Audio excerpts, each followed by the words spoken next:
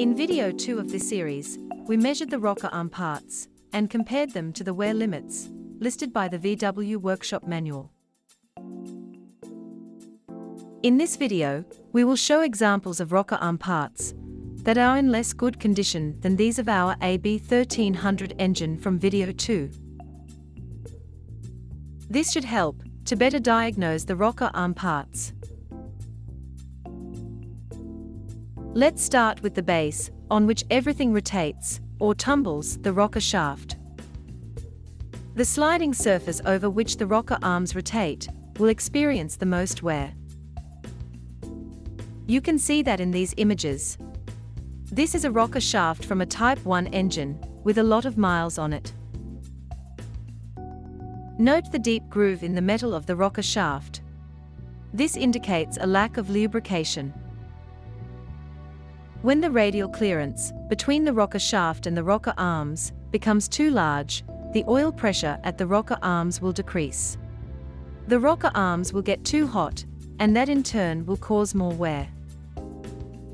This is another rocker shaft, where overheating has left marks. The purple-blue discoloration of the metal indicates excessive temperatures. The metal structure has been affected and will lose its original characteristics. The rocker shaft will have been weakened by the heat and is therefore no longer serviceable. You can also clearly see that the rocker shaft shows wear on one side. The force on the rocker arms comes from the cam followers, via the push rods, and from the valve springs. This force is always away from the cylinder head. You can see that clearly on this animation. We refer to video 2 of our series on engine adjustment for more explanation of this animation. The orange arrows show in which direction the forces are working. The red mark in the bore of the rocker arm shows where most wear will occur from these forces. The pressure on the rocker arm is always away from the cylinder head. Both the rocker arm bore and the rocker arm shaft will wear on the side of the cylinder head.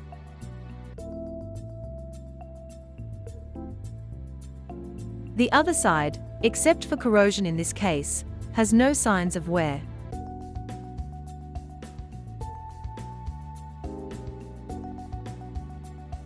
The rocker arms will also, in most cases, show signs of wear.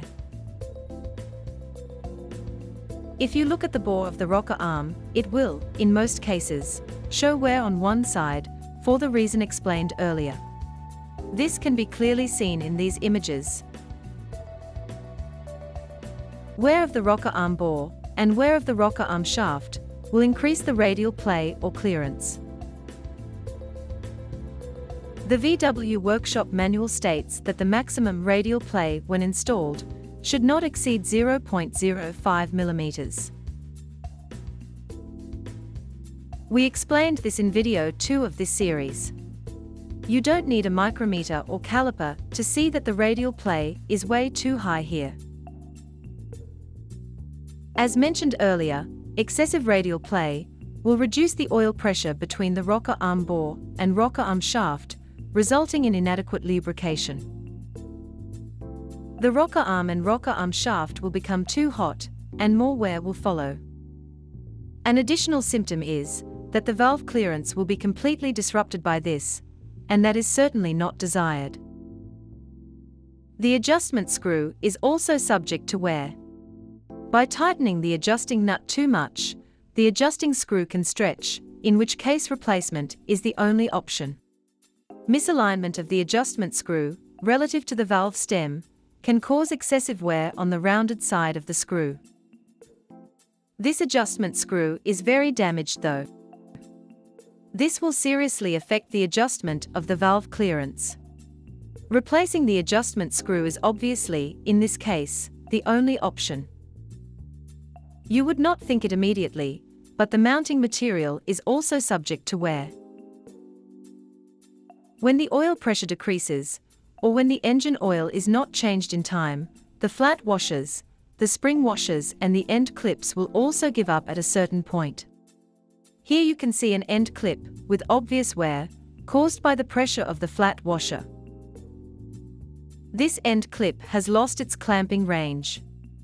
If the clip breaks, the rocker arms will come loose from the rocker shaft, resulting in engine damage. The flat washer and spring washer also have obvious signs of wear.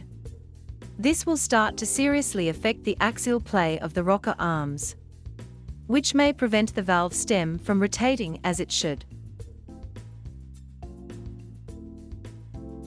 We hope that this supplement to video 2 on diagnosis of the rocker arms will help you to perform a proper diagnosis of the rocker arm parts. More information about all the parts and tools used in this video series can be found as comments under each video on our YouTube channel. See you soon.